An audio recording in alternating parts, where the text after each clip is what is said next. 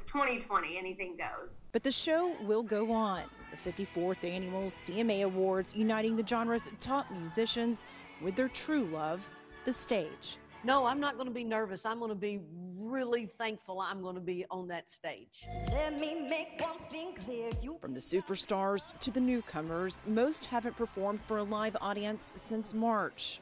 All of us entertainers um, hate this year.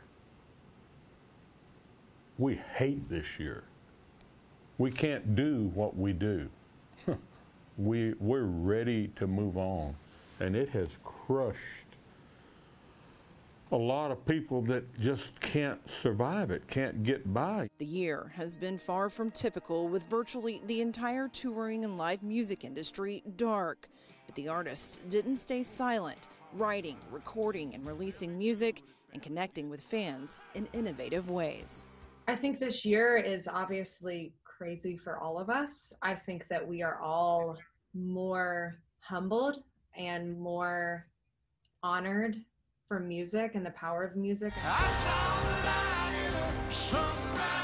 It's the music that unites us in a celebration like this that will give the artist a taste of normality while touching viewers across the country. I love that we get to celebrate. There's been so much amazing music that's come out in the last year and and it deserves to be celebrated in whatever way that we can and I think God bless technology and different ways that we can all bring it to people. And, and I'm excited again just to be a part of it in whatever form or fashion it is. But it will. It'll look a lot different, like a lot of things have this year. Um, but you know, it, it means a lot. I mean, to be honored really just validates that we're all working hard during this unprecedented time and doing the best we can uh, with this wild world in front of us. So we're, we're very honored for that night. Reporting from Music City, I'm Stephanie Langston.